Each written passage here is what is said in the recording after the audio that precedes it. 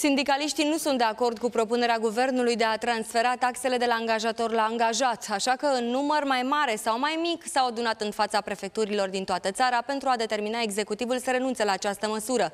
A fost însă doar unul dintre scopurile protestelor.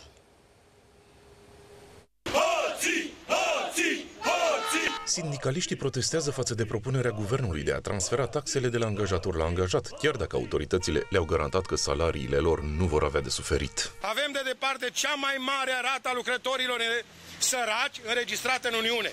Cuvintele sunt foarte dure aici. 19% din, din colegii noștri, din angajații României, care lucrează corect, 8 ore cu salariu, sunt sub pragul de sărăcie. Nu pot trăi omenește. Asta este criminal în țara asta. În ciuda asigurărilor primite, sindicaliștii sunt convinși că guvernanții le vor micșora veniturile, vor elimina răspunderea socială a angajatorilor și vor desfința fondul de șomaj. Ca în ultimul ceas, înainte de promovarea legii bugetului, guvernanții să-și dea seama că noi am pus acolo că pentru noi guvernează.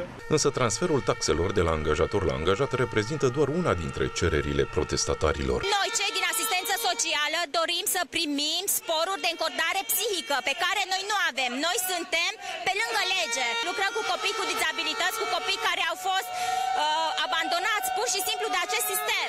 Mai mult, salariile în sine sunt mult prea mici pentru munca și responsabilitatea pe care o au.